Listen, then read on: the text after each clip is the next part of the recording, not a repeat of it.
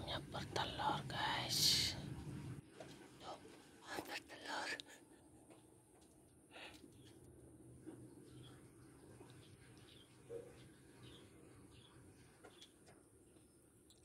Ada sembilan. Telurnya ada sembilan.